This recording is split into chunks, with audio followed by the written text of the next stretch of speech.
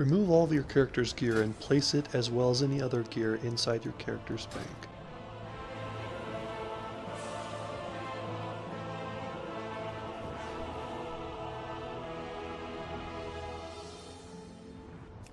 Travel to the Doomsayer at 4749 in Stormwind's Cathedral District, speaking with her and selecting I'll take a pamphlet.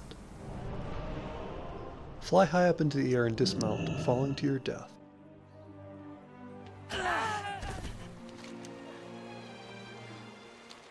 After releasing your spirit, you will find yourself in the nearby Stormwind City Cemetery. Speak with Spirit Healer and accept the Resurrection Sickness. This will not cause you to spend any gold on repair costs, as your gear will be in the bank. Travel south to 4749 and speak with the Doomsayer again to obtain another oh, pamphlet. Have a good one.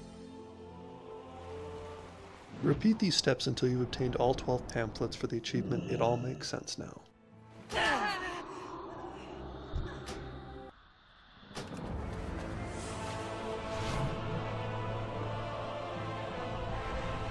Hey there.